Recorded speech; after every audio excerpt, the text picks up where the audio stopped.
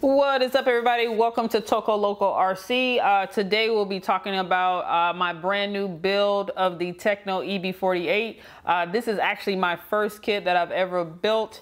Um, and I just kind of want to talk about it, uh, my experience building it, also uh, some of my first impressions on what I think about the buggy so far.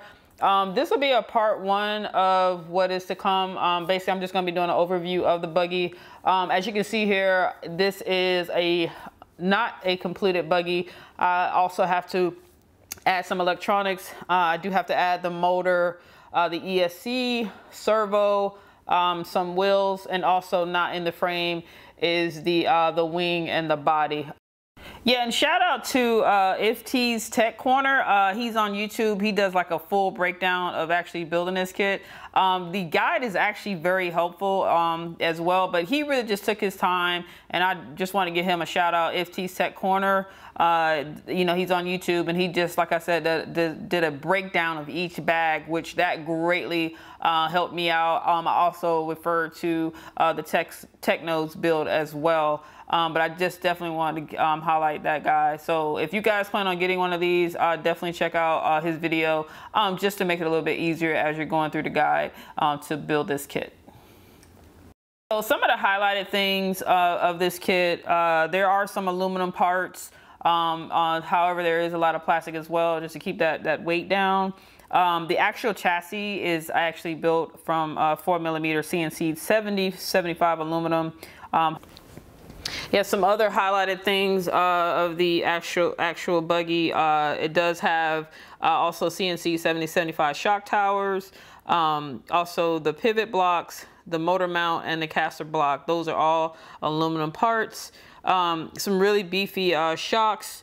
Um, 16 millimeter bore fluid uh, filled shocks with CNC pistons and guides.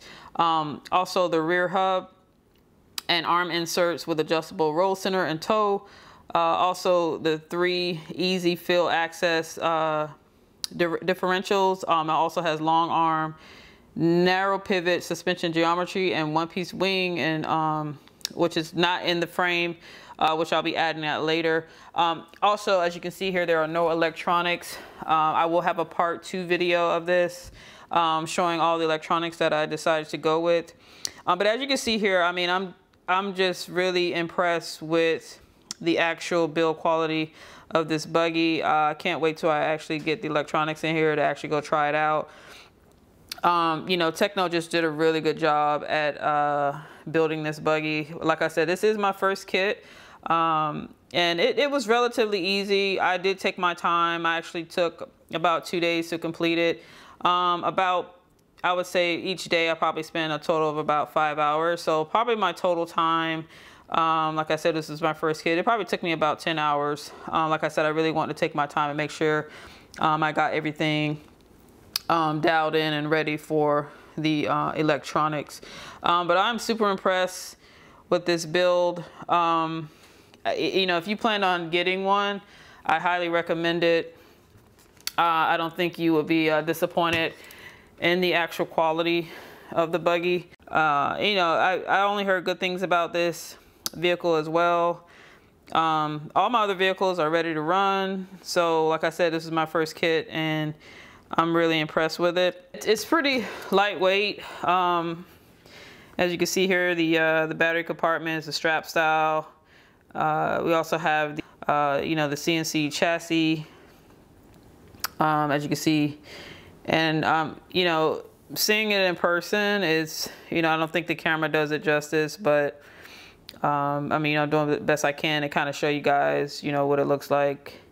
And uh, it's, it's, it's an amazing um, buggy, you know, even like the movement, it's just very fluid and, you know, the suspension is pretty fluid and everything too. That's pretty much it guys. You know, I just want to do a quick video um, to show you guys what it looks like.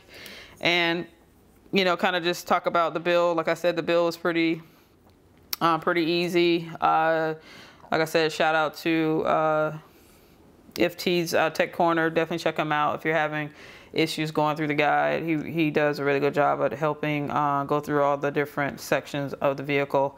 And this thing looks amazing. I cannot wait to get it out on the track and try it out. So if you guys have found this video to be helpful and if you guys are trying to decide whether you should get one or not, um, just based off my first impressions, um, of course, uh, I haven't finished it yet, but just from the build quality, quality alone, it definitely gets two thumbs up and I can't wait to throw some electronics in here and throw some wheels on here.